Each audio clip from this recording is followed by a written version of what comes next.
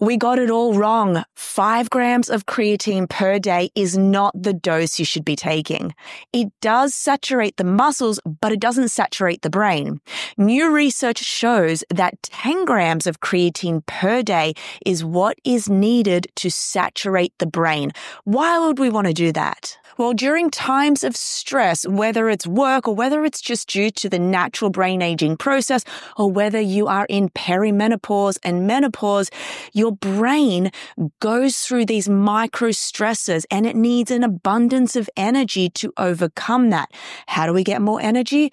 Through creatine because creatine helps with cell energy metabolism within the neurons. It can also act as a neuroprotectant.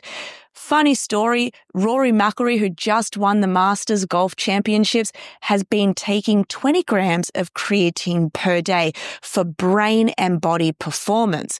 So if you're having problems with memory, thinking abilities, or brain fog, up your daily creatine from five grams to 10 grams. I'm telling you, it's a game changer. It won't bloat you.